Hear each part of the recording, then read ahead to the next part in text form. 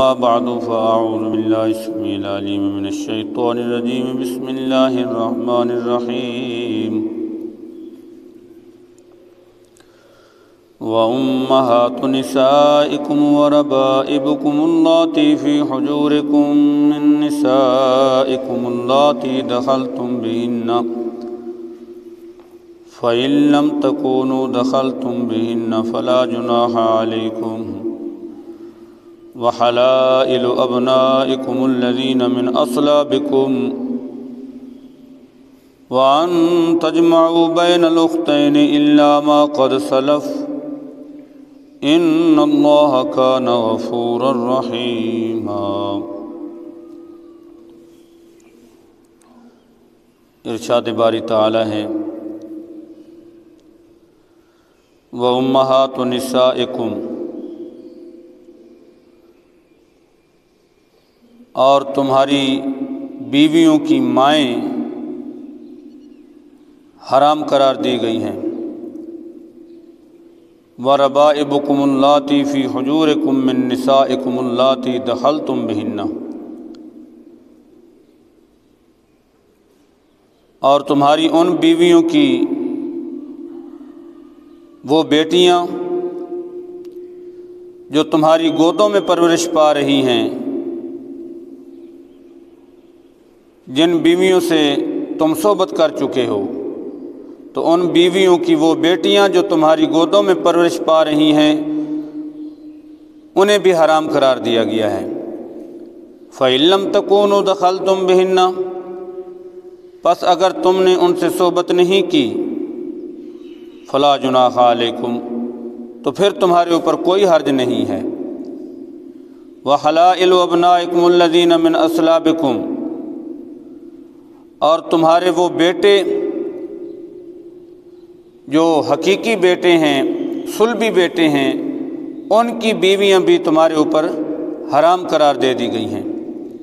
वान तजमऊ ban लुख्तैन और दो बहनों को जमा करना, एक निकाह में इकट्ठा करना, ये भी तुम्हारे ऊपर हराम करार दे दिया गया। इल्ला माकद सलफ़, मगर वो जो गुज़र चुका। इन अल्लाह कान गफ़ूर रहीमा। बेशक अल्लाह बख्शने वाला, रहम फरमाने वाला है। तिलावत करदा कलमात तयबात इनमें उन रिश्तों की हरमत को बयान फरमाया गया, जो अलाक़ निका की वजह से हराम करार दिए गए हैं। इसको हरमत मुसाहरत भी कहते हैं। और सादा लफ्ज़ों में अलाक़ निका की वजह से जो रिश्ते हराम करार दिए गए हैं, उनको बयान फरमाया गया। उनमें से पहली फरमाया, वो तुम्हारे, तुम्हारी बीवियाँ, उनकी माएँ यानी जिस औरत से निकाह कर लिया जाए तो उसकी माँ उस आदमी पर हराम हो जाती है। जिसे आम लफ्ज़ों में सास कहा जाता है। अगर किसी औरत से शादी कर ली हो, निकाह कर लिया हो तो उसके बाद उसकी माँ से, जिसे आम लफ्ज़ों में सास कहा जाता है तो वो भी हराम करार दिया गया, उसको भी। इसी तरह फरमाया कि तुम्हारी वो बीवियाँ जिनसे तुम सोबत कर चुके हो, उनकी बेटियाँ, यानी पहले शोहरों से जो बेटियाँ हैं,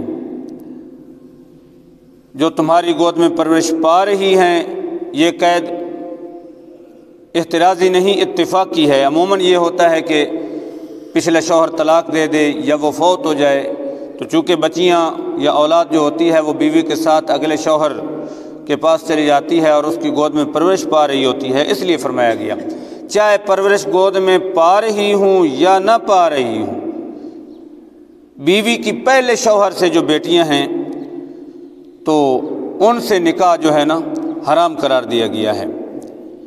लेकिन इसकी दो सूरतें हैं कि सोबत हो चुकी है उस बीवी से या नहीं। अगर सोबत हो चुकी है तो फिर तो पिछले शौहर से जो बेटियाँ हैं चाहे इसकी गोद में परवरिश पा रही हैं या नहीं पा रही तो वो हराम करार दे दी गई इस पर।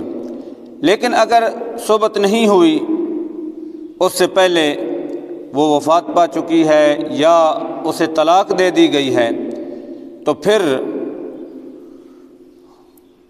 उस औरत की पिछले शौहर से जो बेटियाँ हैं, उससे निकाह किया जा सकता है।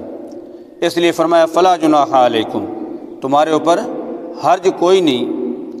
अगर तुम उन उन बीवियों की, उन बेटियों से जो पहले शौहरों से हों, जबकि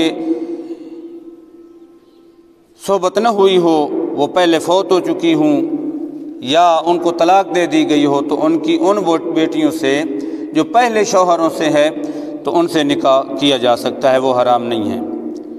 वह हलाल अबनाकमल्लिन मिनसलाबिकुम और तुम्हारे उन बेटों की बीवियाँ जो तुम्हारे सुलभी बेटे हैं।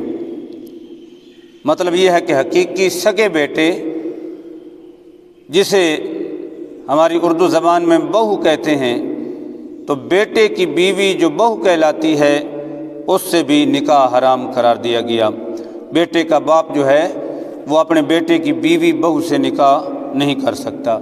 इसमें चाहे वो रज़ाई बेटा हो, चाहे वो हकीकी बेटा हो क्योंकि कल भी ये हदीस पाक ज़िक्र की थी कि यह रब मिन रदा माँ यह रब मिन नसब। जो नसब की वजह से रिश्ते हराम होते हैं, वो दूध के रिश्ते भी हराम हैं। तो चाहे सके बेटे की बीवी हो, चाहे रज़ाई बेटे की बीवी हो तो उस, उससे निकाह नहीं किया जा सकता। हाँ अलबत्ता, मुतबन्ना जिसे मुँह बोला बेटा कहा जाता है तो उसके लिए ये हुक्म नहीं। जिस तरह हज़रत जैन बिन, जैद बिन हारसर रज़ी अल्लाह तहो जो हुजूर के मुतबन्ना थे, मुँह बोले बेटे थे तो उन्होंने अपनी बीवी को तलाक दी। तो नबी करीम सलाम ने उनकी बीवी हज़रत ज़ैनब, गालबन उनका नाम है तो आपने उससे निकाह फरमा लिया।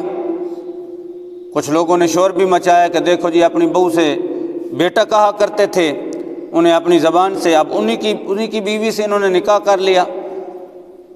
तो कुरान पाक में उसकी तरदीद आ गई कि ये जो मुतबन्ना होते हैं, मुँह बोले बेटे होते हैं, ये हकीकी बेटों की तरह नहीं है। जब हकीकी बेटों की तरह नहीं है तो फिर उनकी बीवियों से निकाह हो सकता है। लिहाजा ऐसा कोई मसला नहीं। तो मोतबन्ना यानी मुँह बोले बेटे जो हैं, उनकी बीवियों से निकाह हराम। नहीं करार गया करार दिया गया। मज़ीद ये इरशाद फरमाया कि दो बहनों को एक अकद में इकट्ठा करना यह भी हराम करार दिया गया। यानी आगे पहले एक औरत से निकाह है, उसको तलाक नहीं हुई या उसकी वफ़ात नहीं हुई, उसके मौजूद होते हुए उसकी दूसरी बहन से शादी रचा लेना ये ठीक नहीं है। दो बहनों को एक निकाह में इकट्ठा करना इसको भी हराम करार दिया गया। कुरान पाक से इस रिश्ते की हरमत साबित है लेकिन इस ज़िमन में रसूलुल्लाह सल्लल्लाहु अलैहि वसल्लम ने इरशाद फरमाया हदीस पाक में आया कि फूफी और भतीजी भी इसी हुक्म में हैं। वो भी एक अकद में इकट्ठी नहीं हो सकती। इसी तरह खाला और भांजी जो हैं वो भी किसी एक फ़र्द के बैक वक्त ए, एक निकाह में इकट्ठी नहीं हो सकती। उसकी वजह बयान करते हुए इर्शाद फरमाया कि इनका बड़ा करीबी रिश्ता होता है, प्यार मोहब्बत वाला रिश्ता होता है, फूफी भतीजी का और खाला और भांजी का, इसी तरह बहनों का रिश्ता। तो उसमें जो प्यार मोहब्बत होता है, उससे किसी को इनकार नहीं है। तो जब ये दोनों एक फ़र्द के निकाह में आ जाएँगी, एक अकद के अंदर तो उस वक़्त ये शौकने बन जाएँगी। और शौकनों वाली जो बोग्ज इनाद और हसद वाली रग जो होती है वो फड़क उठती है। और वो मुक़दस रिश्ता उस रिश्ते का तकदस जो है वो प्यार मोहब्बत जो है वो ख़त्म हो जाएगा। जब वो शौकने हो जाएँगी तो फिर आ, आपस में लड़ पड़ेंगी।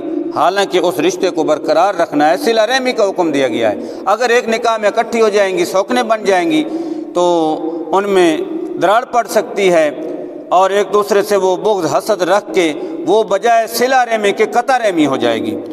तो इस तरह उस रिश्ते का तकदस जो है वो पामाल होता है और प्यार मोहब्बत बरकरार नहीं रह सकेगा।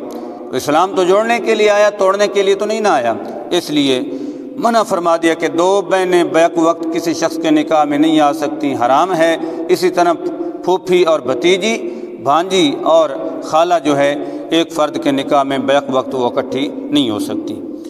वान तजमु बैन लुख्तैन मा का सलब हाँ इससे, इस कानून से पहले जो कुछ हो चुका तो अल्लाह ताला ने उसकी माफ़ी अनत फरमा दी। इन खाना गफूर रहीमा। बेशक अल्लाह ताला बख्शने वाला, रहम फरमाने वाला है।